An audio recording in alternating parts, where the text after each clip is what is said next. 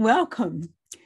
Thank you for continuing on this ongoing journey that I find by turns challenging, sometimes upsetting, often comforting, surprising, unpredictable, at times enlightening, and even engaging. I once had a teacher of meditation who suggested if you do nothing else, just find a few minutes each day to breathe. That is where the idea for this break to breathe originated. And the onset of the pandemic presented the opportunity to begin in a communal way. Speaking of community, with so many others around the world, as well as those who specifically feel a connection to Chautauqua, I was horrified and saddened by the vicious stabbing of Salman Rushdie as he prepared to speak on the topic of free speech in the United States in a forum renowned for its openness to rational discourse and debate. The Chautauqua Institution is dedicated to rational thought, scientific inquiry, and humanitarian values.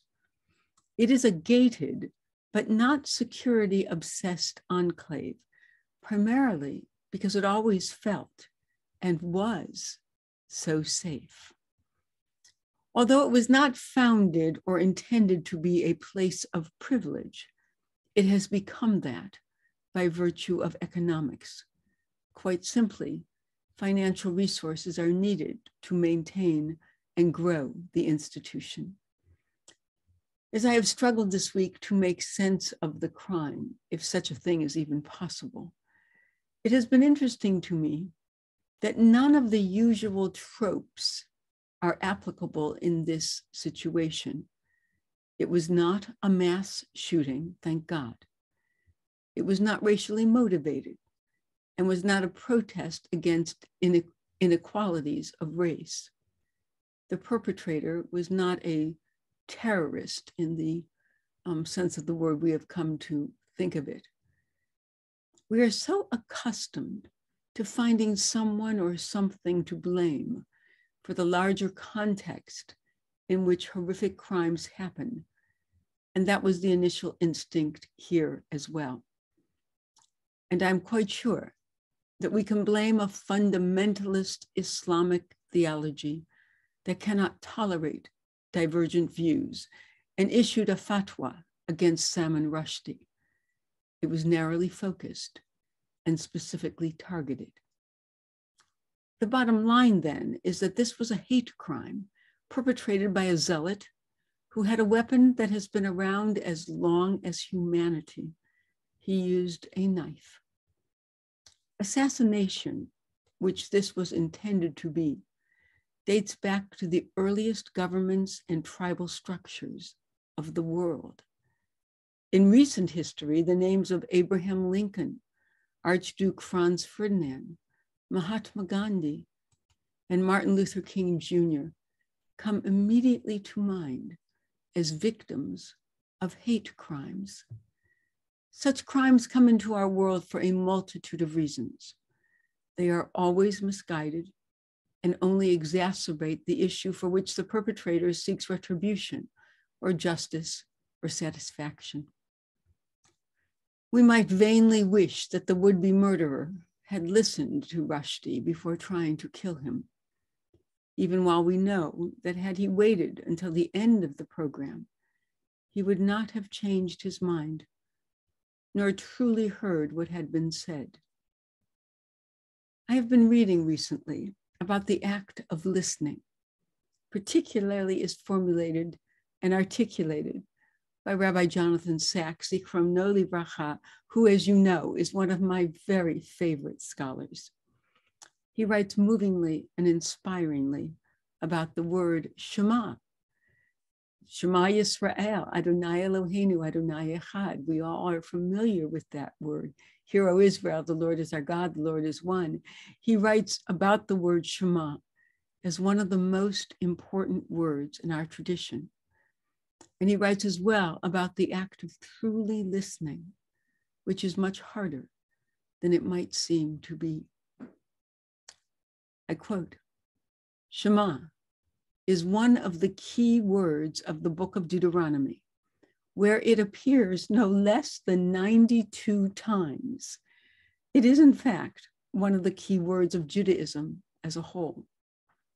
What is more, it is untranslatable.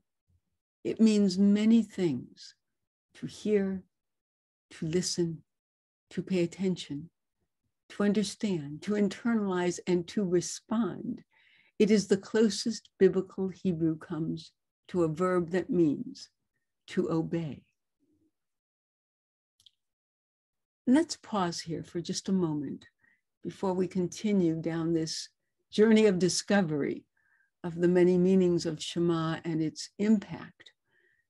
And let us just take that initial break to breathe, where we close our eyes. So we, in fact, close off the, the, um, the sense of seeing. And don't use necessarily, but have more accessible to us the sense of hearing. So let's, let's take our meditative positions and plant our feet firmly on the ground, plant our bodies firmly in our chairs or wherever they may be, standing, lying down. Let us sit with ease, but with attentiveness, with a sense of quiet energy. And if closing your eyes is something that is comfortable for you, I invite you to do that or to gaze just softly at something indeterminate in front of you.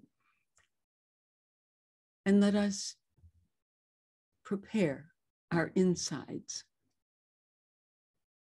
for this process, for this embodied exercise. And we can try to release all those places that would inhibit a full incoming breath into our entire bodies. So we start at the tops of our heads and try to release our scalps, our furrowed brows. Let us relax them. even as we speak about listening, let us imagine that our ears are just resting, hanging comfortably from the sides of our heads. Let us release our jaws. Ooh, that's a good one. And our tongues, which carry so much tension in them. A tongue really is a muscle, and so it can be held very tightly. Let's scrunch up our shoulders and release them and allow our necks to fall to the front and fall to the sides and hang backwards. Oh my. That's one of my big spots. And we might just think about our arms, our upper arms, our lower arms, our elbows. We could do one arm at a time, which might be the most helpful way to do it. And ending with each of our hands unclenched, open, facing upwards, ready to receive whatever will come in the next seconds, the next moments. Let us release our internal organs and the process of digestion that is so fraught with tension. And let us imagine that our insides are just letting go.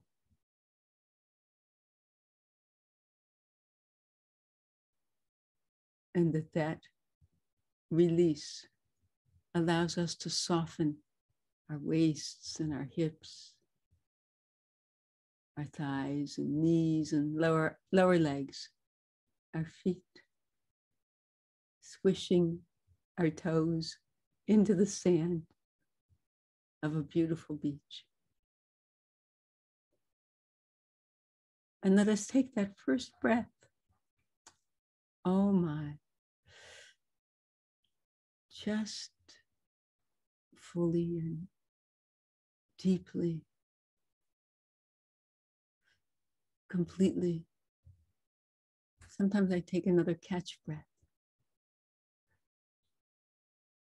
to be sure that I'm truly filled. I think about all the places where the breath might go and how it feels in all of those places. And we can hold it for a moment, not getting tense, just not letting go yet, not releasing yet. And then we can release. Again, slowly, quickly, whatever seems to work. And you certainly might experiment each time. But the point is to just think about this breath coming in. Although we might be most aware of how it sounds.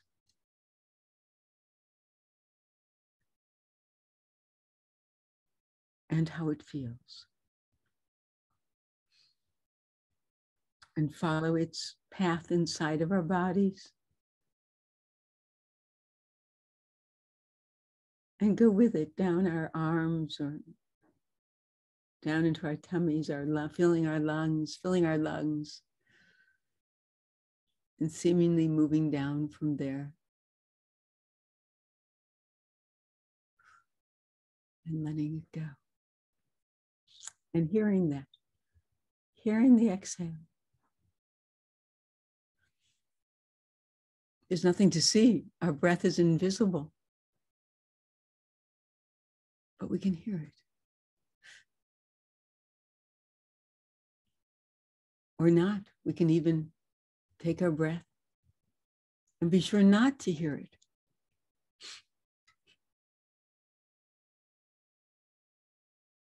And let it go in silence if that's what we choose to do.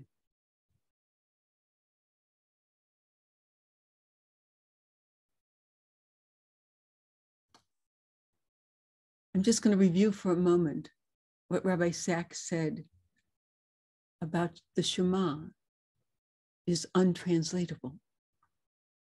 It means many things to hear, to listen, to pay attention, to understand, to internalize, and to respond. It is the closest biblical Hebrew comes to a verb that means to obey. In general, when you encounter a word in any language that is untranslatable into your own, you are close to the beating pulse of that culture.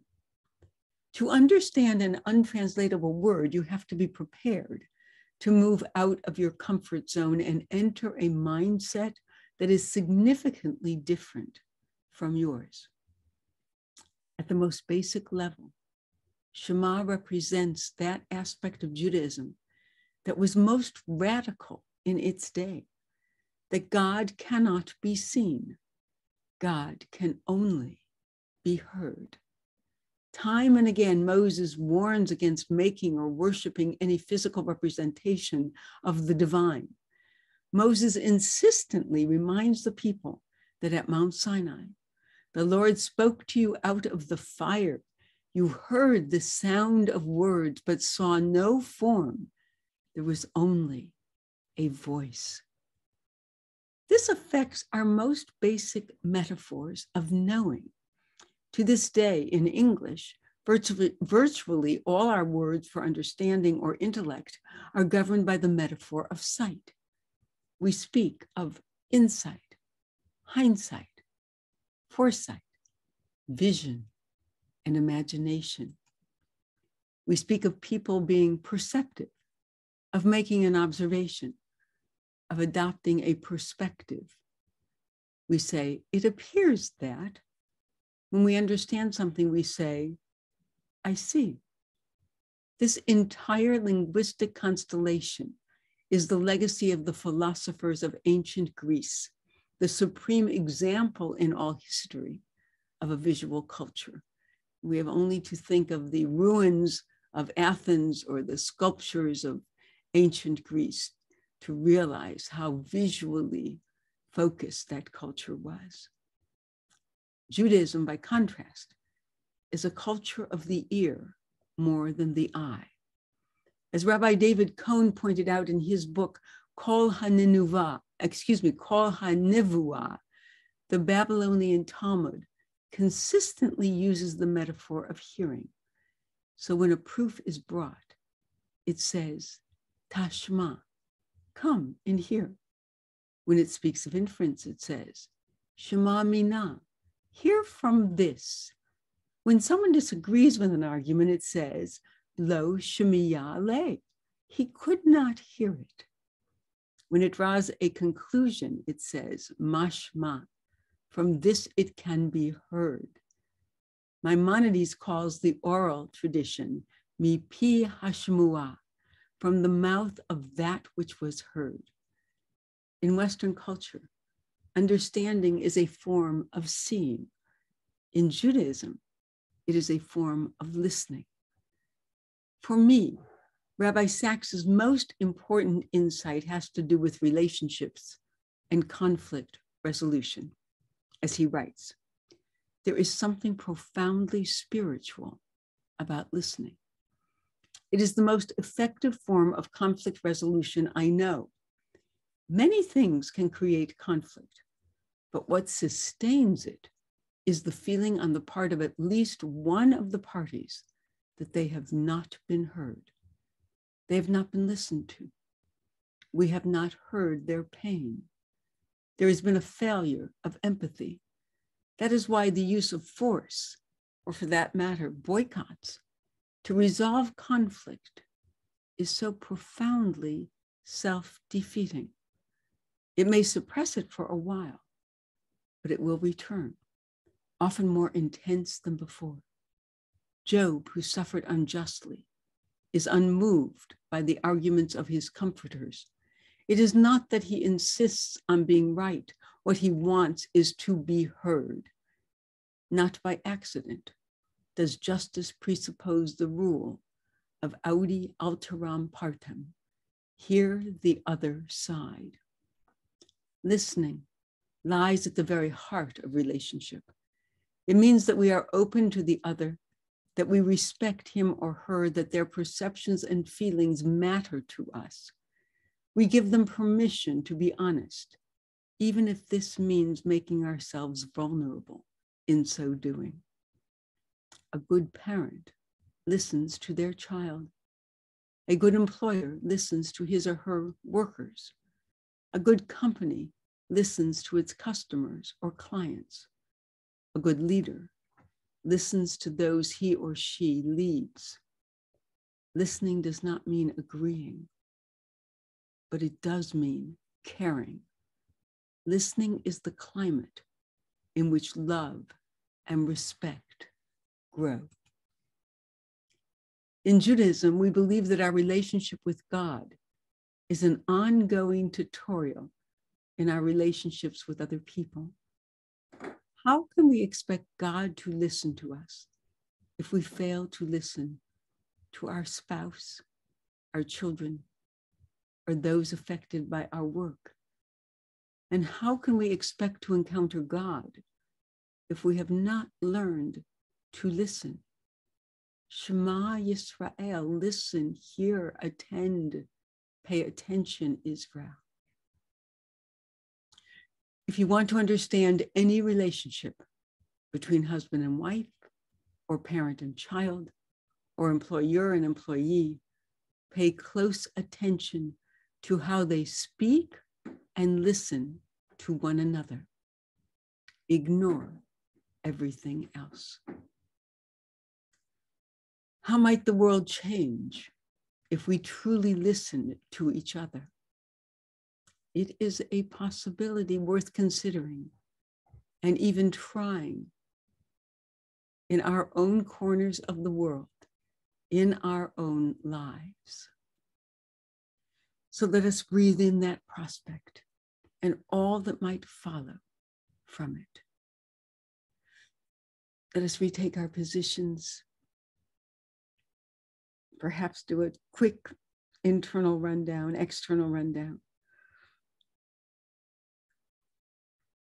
And let us focus on breathing. And as we hear the breath going in, we understand that listening is a receptive process, an actively receptive process.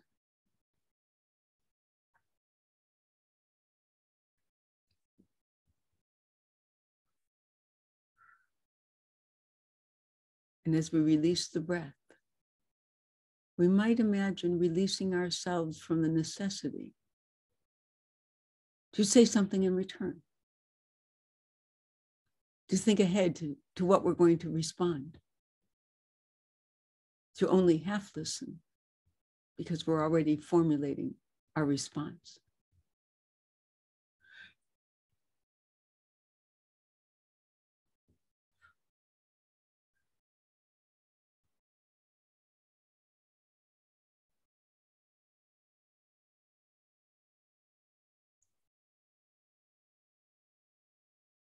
And as a way of focusing our attention, we might think about taking breaths that do have sound, releasing breaths that similarly can be heard.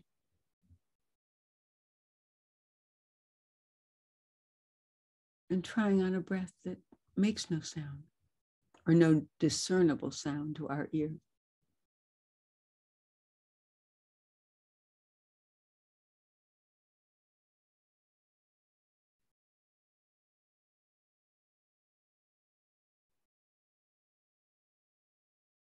We might mix that up. Do an inhale with sound and exhale with none, vice versa.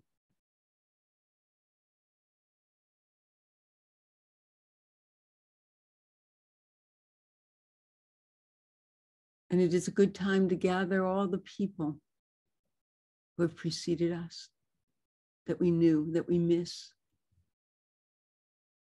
All of those whom we pray might join us someday.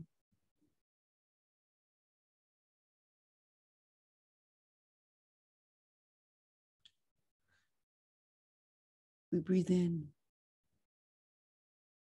paying very close attention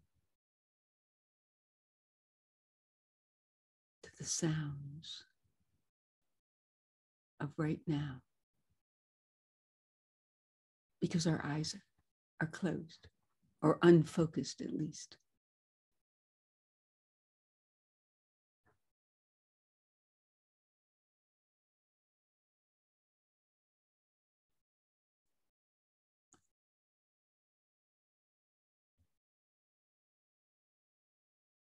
I hope you will continue to breathe in and out, to experiment with the sound of your breathing, the length of your breathing, the style of your breathing, the tempo of your breathing, right here, right now.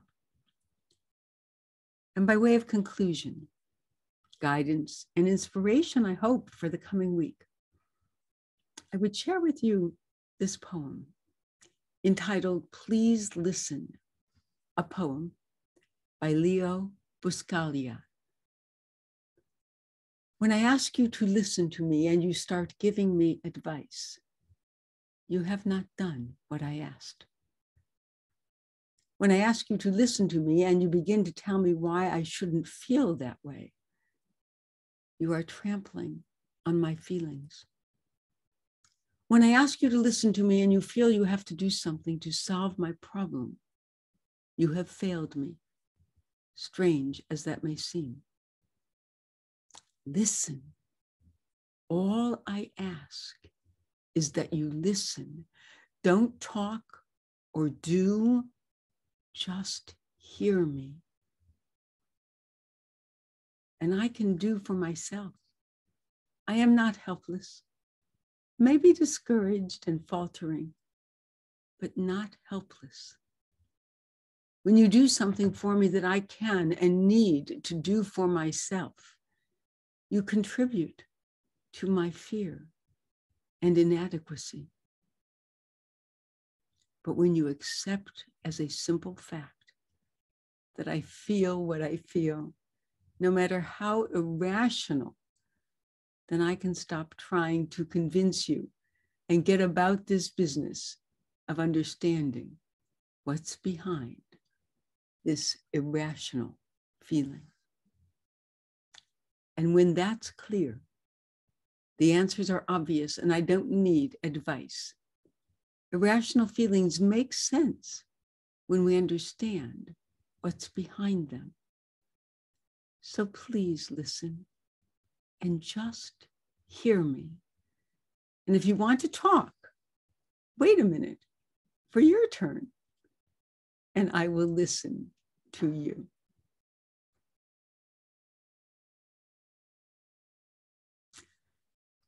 I pray that you will have a week of deep listening to the heart, to the meanings of another, that you will listen to your own soul and spirit in discerning what it is you may need or want. And may it be a good week, a week in which you just stop to breathe every day and that provides you with energy and impetus to go forward. God bless you. I will see you next time. Take care.